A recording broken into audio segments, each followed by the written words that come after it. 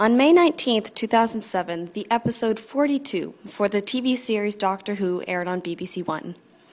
In this episode, the Doctor guesses a sequence of numbers, which he uses as a code to save a spaceship from hurtling into the sun.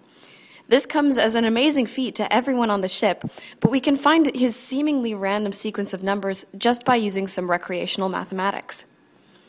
Happy numbers, sad numbers, and narcissistic numbers are all variations on a relatively easy pattern. This pattern doesn't have a name, so for simplicity's sake, let's call this process happification. Happification starts with any positive integer. Using the digits of the integer, each is squared, then the squares of each digit is summed.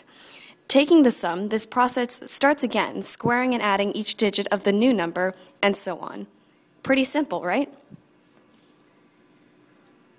Happy numbers and unhappy numbers are defined by their behavior after happification. Happy numbers and unhappy numbers are defined by their behavior after happification. Happy numbers are numbers which, after repeated happification, break down to 1. They're called happy numbers because 1 is the first natural number, and all numbers are happy to get to break down to that special base. For example, take 13. The digits of 13, 1 and 3, when squared and summed, equal 10. After another level of happification, it equals 1. Other happy numbers include 7, 10, 19, 23, 28, 44, 31, 32, and 49 under 50, and Doctor Who's code, the four numbers 313, 331, 367, and 379. A neat trick for finding happy numbers is to switch the digits around, or to add a zero, because the sum of the squares will be the same. For example, take 31 and 13. For the digits of 31, we have 3 squared plus 1 squared, which is just the reverse of 13, which is 1 squared plus 3 squared. By adding a 0, or a 0 squared, we can make more happy numbers, because they don't change the sum either. So using 13, we note not only is 13 a happy number, but so are numbers such as 310, 13,000, 3,100, and more. Unhappy numbers include, incidentally, every number that isn't a happy number. These numbers have a very special property. When they're happified, instead of breaking down to 1, they form a series of numbers that repeats over and over. For example, if we happify 4, we get 4 squared, or 16.